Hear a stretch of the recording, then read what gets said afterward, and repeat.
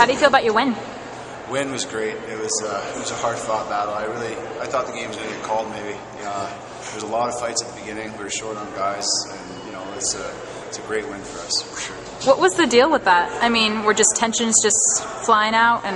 I think it all started in warm up. Uh, Snyder and Molesky got into it in warm up, and I we sort of knew that it was going to be a, a battle. Like I thought after that fight, the line brawl, that the, the next uh, line that went out was going to be another line brawl, and the game's going to get called. And that's what I honestly thought. But uh, we settled down. We wanted to play lacrosse, and we wanted to win the game. And, you know, breaks went our way at the end. Uh, five minute really hurt us, but you know we, we pulled it over for sure.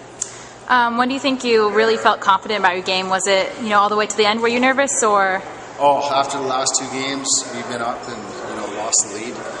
It went to overtime, and that's the last two games. And you know that when they got that shot in the last second, I was like, oh, not again. We, we we fought we hard, we really did, and you know uh, I was just uh, I really didn't think we won until the game the buzzer went. I thought we were going overtime again. I thought like bad streak. Everything happens in threes. That's what mom always says. I thought it was going to happen again for sure. Um, going back to it being your win, I mean, how does it feel it being your second win against the Stealth? Oh, it's great. You know, but the, like again, this doesn't mean much. It's just regular season. Only one team doesn't make the playoffs, and you got to get hot in those three games. It doesn't matter what you do right now. You just mentally prepare yourself for the playoffs. I always think that the regular season is just practice. You just uh, get ready for that one game.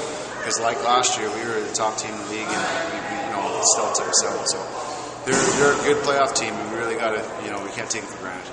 For sure, is there anything you want to improve on? Staying out of the box, maybe. Uh, if we stay out of the box, five on five, our defense is, is unstoppable. Uh, it's when we get into the box is when you know a lot of bad things start happening for us, and these teams start getting up on us. And I think if we stay out of the box, I, I think we're going to be okay this season. Right. Can I, can I ask one more Oh, question? For Go you? ahead. Um, talk a little bit about the rivalry that's really developed over the past couple of years between the, the Roughnecks and the Stealth. And I mean, you saw it on the floor tonight as it went to fisticuffs. But even when that stuff's not going on, it's heated, it's intense out there. Talk a little bit about that rivalry you guys have. Uh, I think there's a rivalry with every team in the league, just because you know, like we play these guys three times, played Colorado, I don't know, three or four times. So you're eventually going to get rivalries against uh, teams. Um, you know, we've we've played we've played each other in the playoffs almost every year, and it's always going to be a rivalry between us. And we just got to keep our heads on straight, and you know, we'll, we'll take this win, but we got to move on to next week. You know, it's only one win, and there's a long season ahead. For sure.